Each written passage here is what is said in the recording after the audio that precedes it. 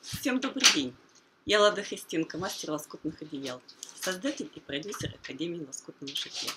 Сегодня у нас с вами вторник, 207 лоскутный эфир, и мы продолжаем наш сериал обучающего практикума. Сегодня у нас вторая серия сезона по сборке лоскутной панели, э, по сборке планок в технике ленточной сборки. И сегодня Ирина Юрьевна, которую вы уже видите, конечно же, на заднем плане, расскажет вам о том, как правильно разрезать панели и расскажет Какие вам панели? о вариантах, извините, не панели, как правильно разрезать ткани и о вариантах подбора цвета для ленточной сборки. У нас не так много времени, поэтому, пожалуйста, нажмите кнопочку подписаться на канал и прямо сейчас смотрите видео. День. Я Ирина Муханова, креативный директор и преподаватель Академии лоскутного шитья. На прошлом лоскутном эфире мы с вами говорили о том, что прекрасные, большие текстильные картины, которые продаются как панели специально для лоскутниц, можно очень эффектно и быстро организовать в большое лоскутное изделие, такое как одеяло. Этим мы с вами сегодня и займемся. На начальном этапе мы должны были подготовить материалы, дополняющие э, нашу панель. Для работы, напомню, нам потребуется для большого э, полотна 90 на 110 сантиметров или чуть меньше э, 7 тканей по 0,6 метра, по 60 сантиметров. Для э, панели размером 60 на 110 сантиметров вам потребуется 8 тканей, но тоже по 60 сантиметров. Еще раз напоминаю, что вся красота вашей работы зависеть будет от правильного выбора тканей по цвету. Поэтому посмотрите на палитру вашего э, кусочка художественного вашей панели и подбирайте ткани, соответственно, поддерживающие те цвета, которые в этой панели реально есть. И вот мы выбрали, соответственно, 7 тканей от самой светлой э, с цветочным зелено-желтым узором до темной. Вот видите, такой вот яркий, но тоже в цветах осени. А, обращаю ваше внимание, в прошлый раз я на этом не заостряла внимание, то, что в свой набор я голубой не включила. Дело все в том, что а, гораздо эффектнее смотрится а, в теме осень набор из теплых оттенков. А теплые оттенки это красно-желтые и желто-зеленые. А, а вот холодные тона я сюда просто совсем не включила. Хотя они присутствуют в нашей картинке, но они могут разбить единство и гармоничность нашей каймы. То есть на самом деле, еще раз напоминаю, не все краски, которые есть в вашей лоскутной картине, вы должны, э, так сказать, подобрать в качестве компаньонов э, э, лоскутных, но выбрать, чтобы тут между собой ткани были тоже гармоничны по какому-то закону. Опять же, милости просим на курс цветоведения в нашей академии. А теперь мы переходим от чисто художественных задач к задачам абсолютно практическим. А, мы с вами должны нарезать вот эти ткани-компаньоны на лоскутные планки, которые и будут создавать нам э, все пространство нашего одеяла, кроме вот этой вот панели. То есть мы будем обшивать ее лоскутными планками. И теперь э, приступаем к раскрою. Ну, для начала очень советую не делать длинные планки. То есть не 60 сантиметров, а, те, которые вы отрезали от каждой ткани для этой работы, а куски лучше брать длиной 30 сантиметров. Тогда достаточно узкие планки, а они у нас будут в готовом виде где-то чуть больше 6 сантиметров – ну, может быть, под 7, это зависит от ваших припусков, они будут смотреться более гармонично. То есть слишком длинные а, планки, они, э, соответственно, эффекта лоскутности не дадут. Что нам, собственно, и нужно в нашей работе. Поэтому кусок материала 60 сантиметров вы сразу разрезаете на два кусочка а, по э, долевой по 30 сантиметров. Долевая, напоминаю, это то, что идет параллельно кромке. А, вот, и абсолютно не тянется. Попытки набирать вокруг панели а, планки, в которых долевая стоит поперек планки, не по длине, заканчиваются очень плохо.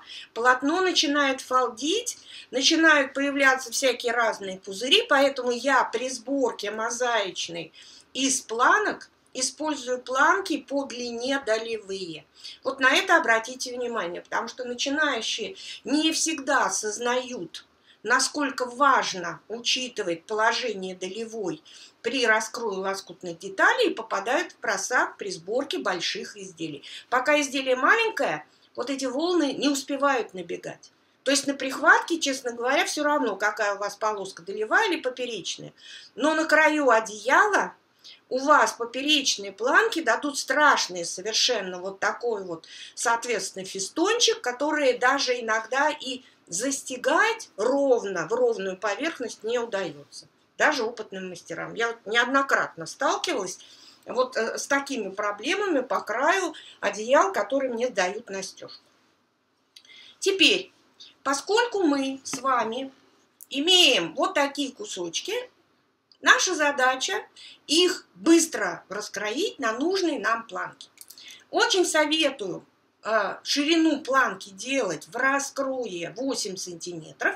Ну, во-первых, это очень удобно именно при такой ширине куска ткани. То есть длина у нас 30 сантиметров, ширина 110, но она не 110. Здесь вот эти вот сейчас каемочки наши, на э, вот эти вот э, края э, сейчас я срежу. Поэтому оптимально делать раскрой планками шириной 8 сантиметров.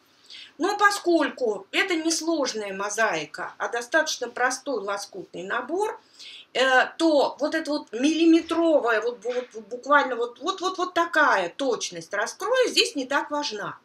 А, потому что, ну, будет пошире немножко полоска, чуть поуже. А, в одеяле это, я вас уверяю, с расстояния 50 сантиметров уже не видно.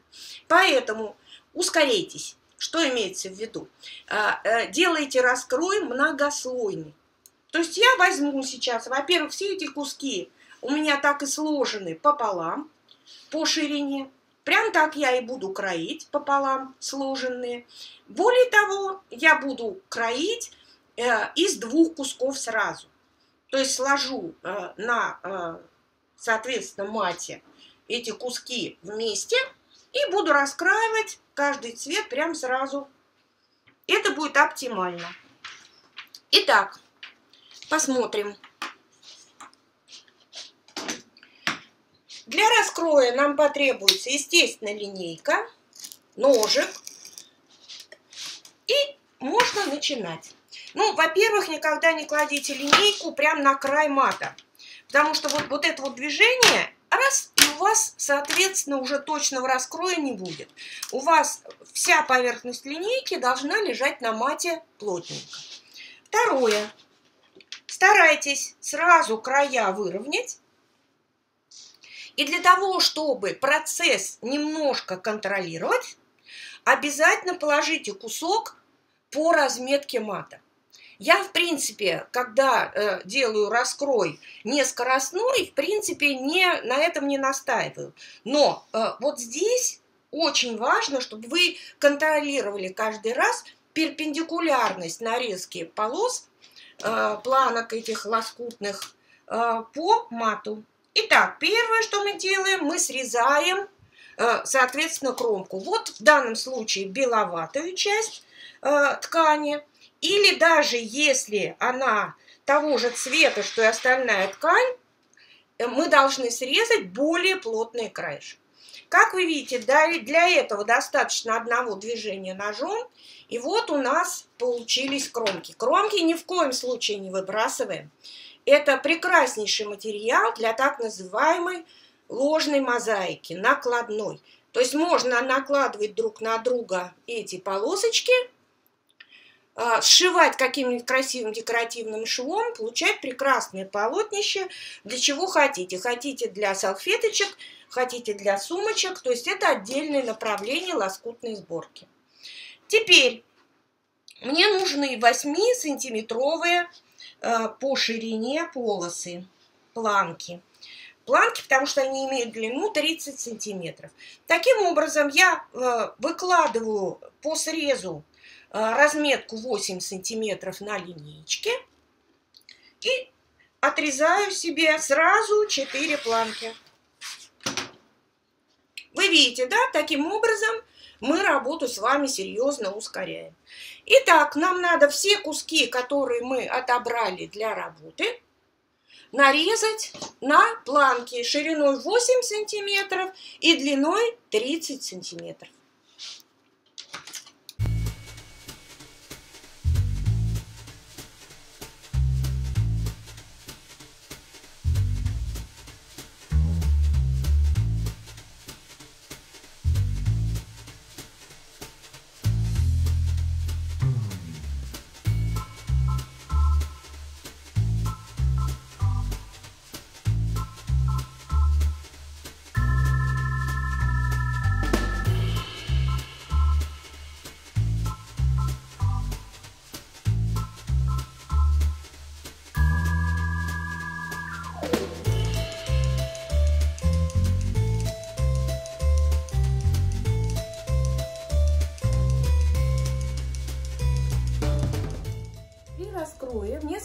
Слоев, э, сложенных пополам э, кусков ткани.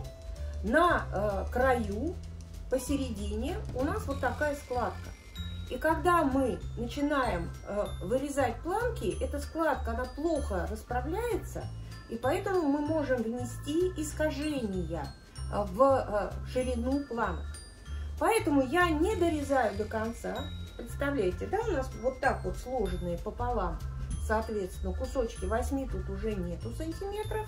Я их сейчас расправлю на утюге, вот эту центральную складку.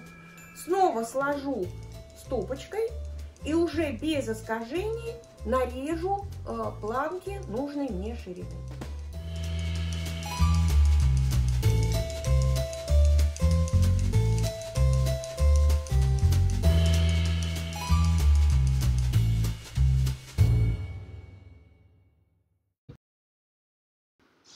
Раскрой завершен. И теперь мы приступаем э, к композиционной раскладке полученных планов. Вот наши нарезанные планки. И нам нужно решить, вот именно на этом этапе, очень четко, в какой последовательности мы эти планки будем собирать в единое полотно. Тут вариантов несколько. Первый вариант я вам сейчас покажу. Смотрите, вы берете светленькую планку, показываю прямо вот рядом с э, основным, с основной частью нашего одеялки с панелью. Дальше мы берем темную планку, то есть разделяем на темные и светлые планочки. Дальше опять, соответственно, светлую планку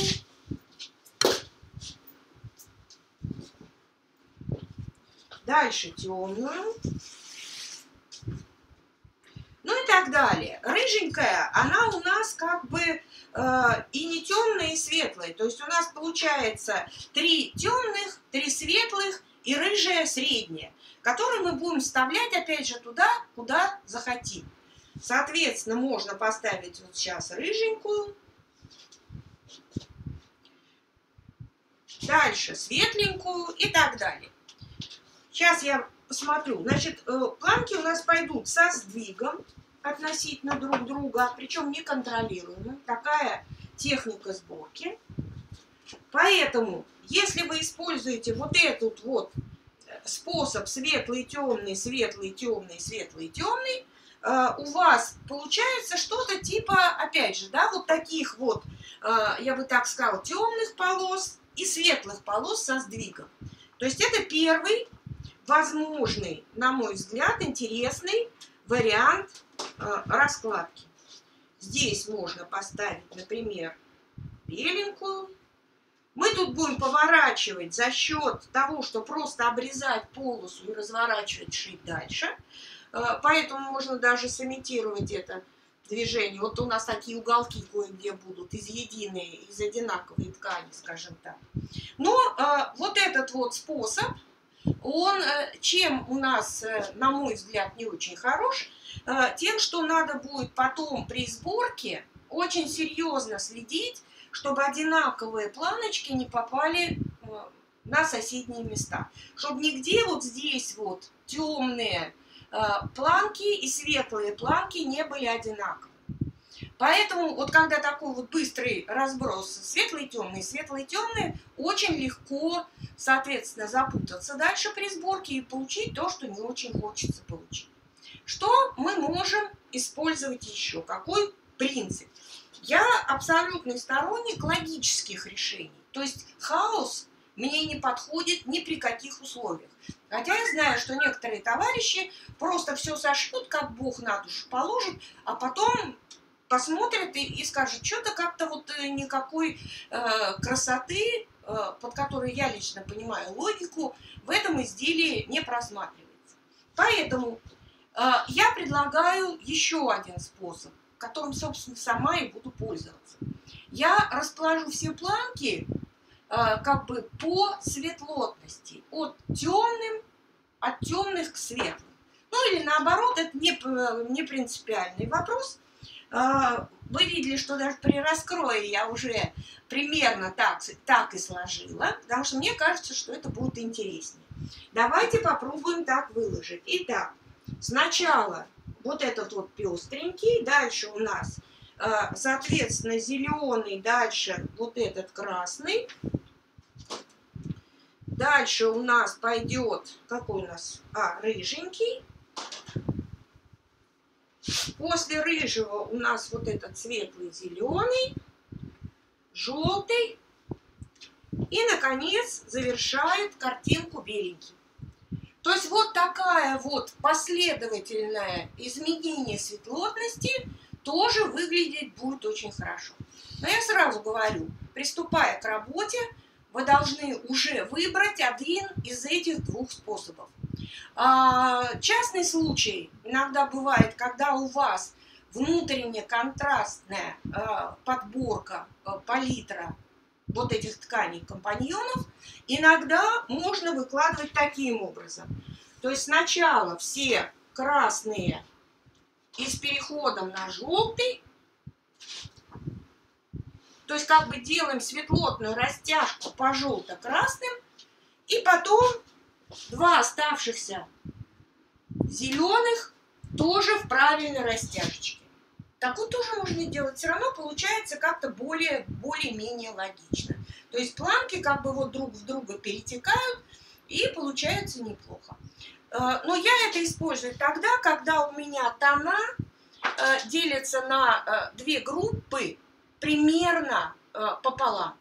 То есть, грубо говоря, три одной ткани – 4 другой ткани другого тона, да, или э, 4 одного тона, 4 другого тона. Вот тогда я бы делала вот именно такие вот э, тоновые, что называется, растяжки по светлоте. А в данном случае я честно говорю, что я буду использовать вот самый простой способ по э, светлоте. Буду чередовать э, с изменением светлотности правильным, плавным, по вот этой вот ленте, которая будет кружиться, кружиться, кружиться при сборке вокруг панели, образуя ей достойную, я бы так сказала, кайму. Итак, э, сложив, выбрав способ э, пришивания, последовательность пришивания полос, мы э, не сразу бросаемся их пришивать к полотну. Мы с вами используем очень интересный, быстрый э, и качественный способ сборки этих планок, а именно через ленту, единую ленту для всего одеяла. Итак, сегодня мы с вами подобрали нужную нам раскладку планок вокруг лоскутной панели – нарезали нужное нам количество планок. Кстати, сразу могу сказать, что у нас из двух кусков по 30 сантиметров получается 26 планок одной ткани. И таких видов планок у нас 7 штук для большой панели, а для, э, соответственно, 60 на 110 панели у нас 8 видов планок по 26 э, штук. Э, и подготовьте все эти детали к будущей работе, а на следующем эфире мы с вами начнем сборку нашей единой цветной красивой ленты. Удачи вам в работе!